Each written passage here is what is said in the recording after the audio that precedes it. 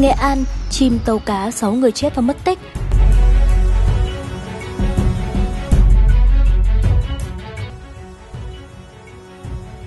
Chào các bạn, chào mừng các bạn đã quay trở lại với kênh youtube tin tức dân trí. Đang trong hành trình ra biển để đánh bắt cá, tàu cá NA93010TS bất ngờ bị chìm trước cửa Lạch Giang, tỉnh Quảng Bình. Vụ việc khiến một người tử vong, 5 thuyền viên khác đang mất tích. Tối ngày 5 tháng 9, trao đổi với phóng viên, ông Nguyễn Trường Thành, tránh văn phòng Ban Chỉ huy Phòng chống thiên tai, tỉnh Nghệ An cho biết đơn vị đã có công văn gửi Ban Chỉ huy Phòng chống thiên tai các tỉnh Hà Tĩnh và Quảng Bình để phối hợp hỗ trợ tìm kiếm các thuyền viên tàu cá NA93010TS đang mất tích. Theo văn bản của Ban Chỉ huy Phòng chống thiên tai tỉnh Nghệ An cho biết, vào lúc 14 giờ ngày 5 tháng 9 năm 2019, đồn biên phòng Quỳnh Thuận Bộ đội Biên phòng Nghệ An nhận được thông tin tàu cá NA 93010TS do anh Cao Văn Ý sinh năm 1981, trú tại xóm 8, xã Sơn Hải, huyện Quỳnh Lưu làm thuyền trưởng. Lúc này trên tàu có 7 thuyền viên đang hành trình ra biển để khai thác thủy sản thì bị chìm trước cửa Giang, tỉnh Quảng Bình.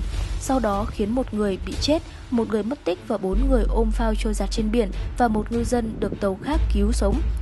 Để kịp thời cứu nạn tàu cá NA93010TS bị chìm trên vùng biển Quảng Bình, Ban Chỉ huy Phòng chống thiên tai tỉnh Nghệ An đề nghị Ban Chỉ huy Phòng chống thiên tai tỉnh Hà Tĩnh và Quảng Bình thông báo các lực lượng hỗ trợ cứu nạn và các tàu thuyền của địa phương để hỗ trợ tìm kiếm nạn nhân tàu cá và các ngư dân đang gặp nạn. Văn bản nêu rõ, hiện nay thời tiết trên địa bàn cảng Lạch Giang không được thuận lợi, nước dâng cao khiến công tác tìm kiếm cứu hộ gặp nhiều khó khăn. Các cơ quan chức năng vẫn đang nỗ lực tìm kiếm các ngư dân đang còn mất tích. Danh tính các thuyền viên gặp nạn được xác định bao gồm: 1. Nguyễn Văn Thắng, thôn 3, Sơn Hải. 2. Phạm Văn Hoàng, sinh năm 1993, thôn Thọ Thành, Quỳnh Thọ. Trần Văn Cường, sinh năm 2003, thôn 10, Sơn Hải. Ngô Văn Sô, sinh năm 2001, thôn 4, Sơn Hải.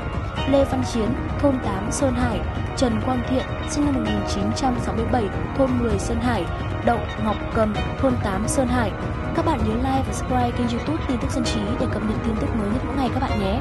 Tại cơ quan công an, Nguyễn Văn Đông bình thản kể lại quá trình y gây án từ lúc bắt đầu cho tới lúc sát hại cả gia đình ông Nguyễn Văn Hải, em ruột của ông Đông. Liên quan tới vụ truy sát một gia đình ở xã Hồng Hà, huyện Đan Phượng, thành phố Hà Nội khiến 4 trên 5 nạn nhân tử vong, một hiện đang cấp cứu trong quá trình nguy kịch. Chiều ngày 1 tháng 9, cơ quan cảnh sát điều tra